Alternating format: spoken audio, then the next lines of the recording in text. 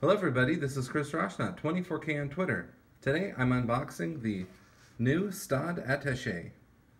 This is from sfbags.com. I want to thank them for sending this along to review. So this is clipped in in the front here, just like that. And then once this comes out, this flips up.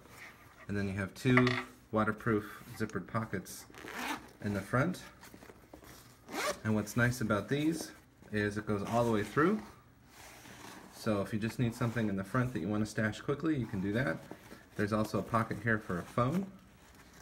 There's a lining here, so it fits there. Soft lining as well as that. Now inside, you have multiple pockets. You have like a uh, pen pockets here. Then you have a larger pocket there, and about the same size pocket here. This has metal loops right here for the shoulder pieces and those are included in the kit.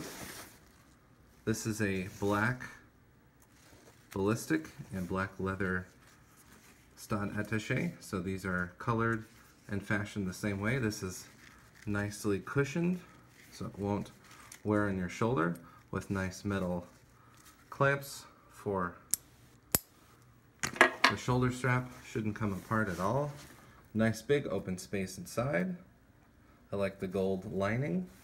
And then for your 13 inch MacBook or smaller, you get this pocket here. It's padded and lined softly, so you can put it in without a case if you'd like. And then this is the black leather top cover. And then on the back, there are two separate pockets for papers or whatever else you want. And this is the ballistic textile here on the back.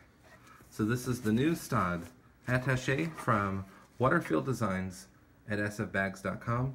This is Chris Rauschnot, 24K on Twitter. You've now seen the overview of this bag and we'll have a review soon on my Twitter account. Please subscribe to the channel. We appreciate positive comments and of course, thumbs up. Thank you.